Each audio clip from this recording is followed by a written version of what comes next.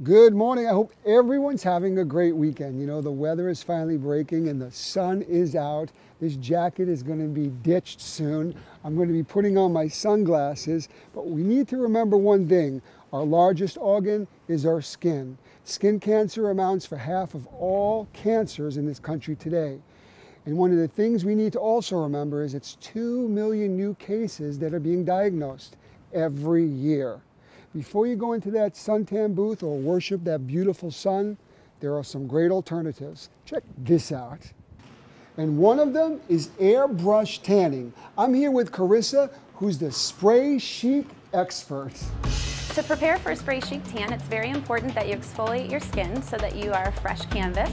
Definitely want to make sure that you don't have any lotion on the skin or any soap residue, so we will actually provide a mild exfoliation spray, a prep spray that will help lower the pH in your skin and give you a natural looking tan.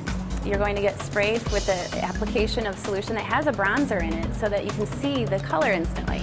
The active ingredient in the solution is called DHA, and that DHA actually works with the skin cells to produce the tan. It's a quick drying product, and you can get dressed and you're set for the day. This is safe, it's fast, you get golden brown, it covers up all your little imperfections, your freckles or whatever. And uh, the main reason though is because of the cancer. I want to try to help save anybody from going out in the sun or the tanning booths any of that because they're so dangerous and this is so safe.